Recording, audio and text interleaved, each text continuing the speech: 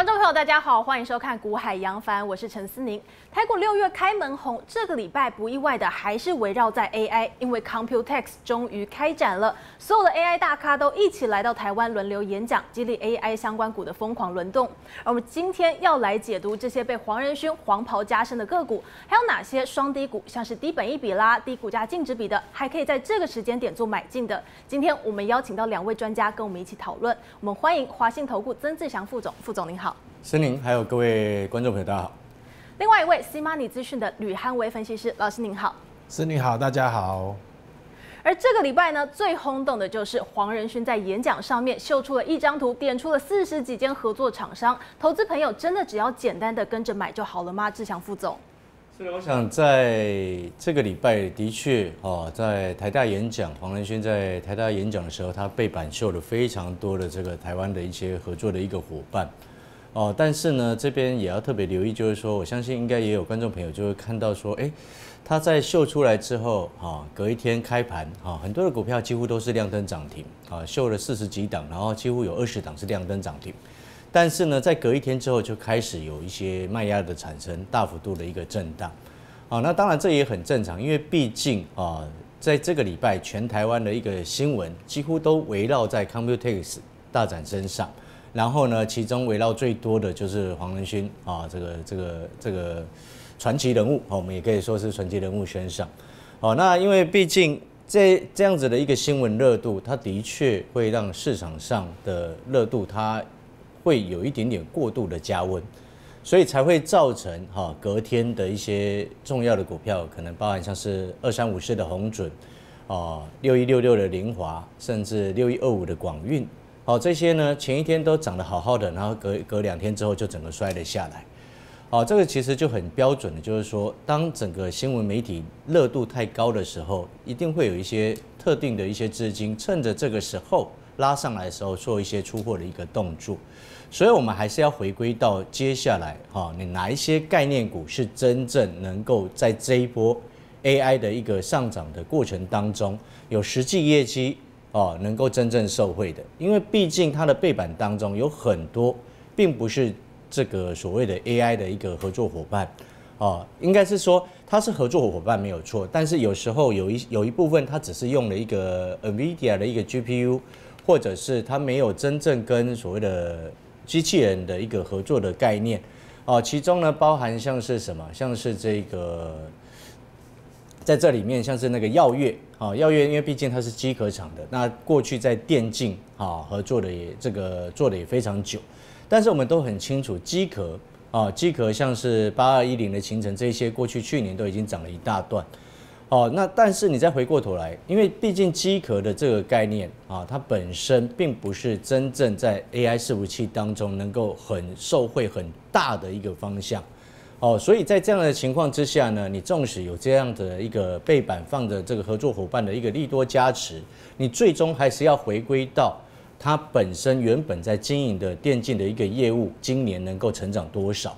哦，这个才是真正的重点。像是在这里面当中，还有包含很多的像什么元刚啊这些，其实这个关联性都不是这么的密切，甚至像包含了像是什么青云啊、立台啊。哦，在那一天啊，黄仁勋台大演讲之后的隔一天都有亮灯涨停的一个状况，但是实际上你仔细去看这一些，它其实，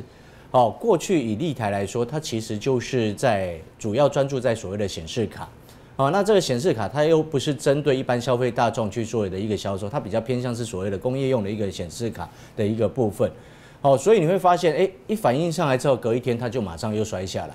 哦，其实背后你就要去看哪一些是真正受惠，哪一些不是，只是可能就是一些擦边球的一个状况。哦，这里就要去分清楚。那如果说就 AI 伺服器的一个部分啊，像之前我们来杨凡的节目当中也曾经谈过，你在 GB 两百，你未来要真正的受惠或者是第一波的供货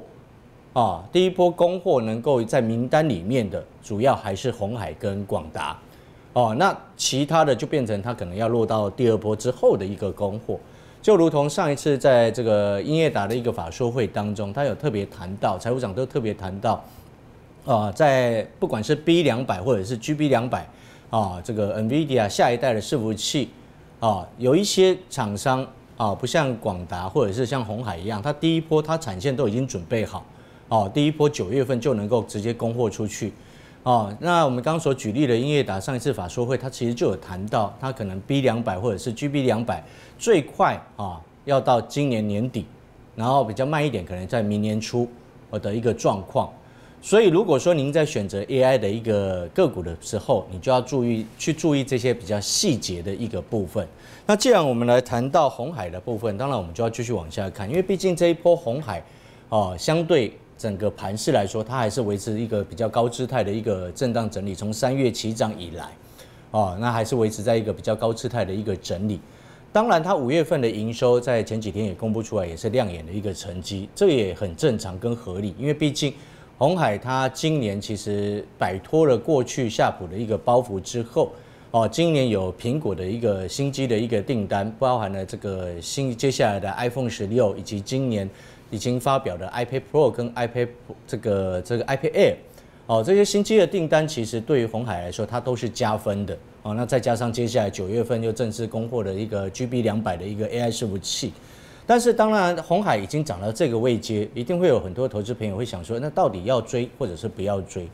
像这种时候，其实我会建议投资朋友，你要去看它的一个本身的一个价值。所谓的价值指的是什么？就是说，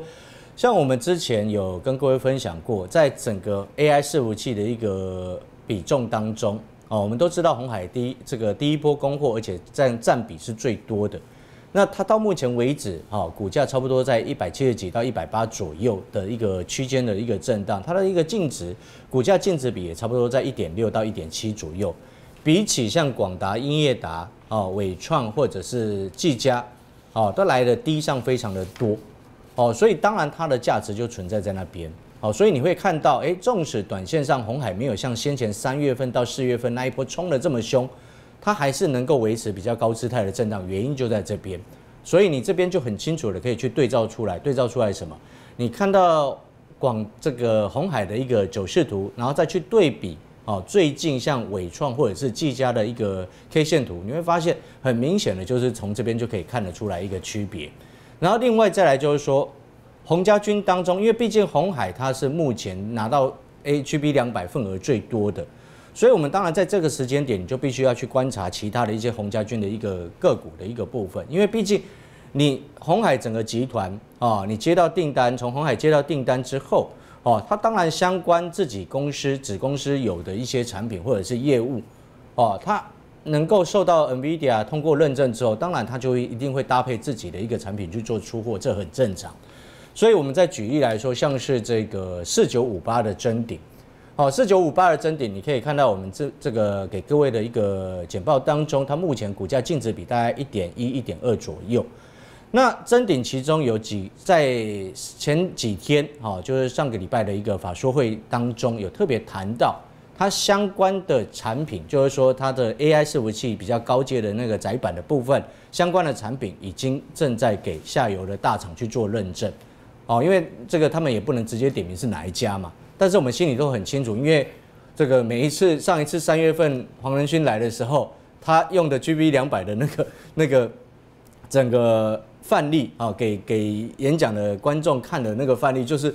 只红海已经做好了，红百旗下红百已经做好了，包含了整机的，还有水冷的散热系统。然后这一次他又一样用红海的一个范例，包含了不管是 GB 两百也好，甚至红海的一个工厂。它都是一样，是用红海的一个范例，所以我们这边就可以得到一个很核心的重点哦。就像我刚刚所说的，你的子公司啊相关的产品，就像我们刚刚所谈到的真鼎，它的一个相关的产品已经开始送认证。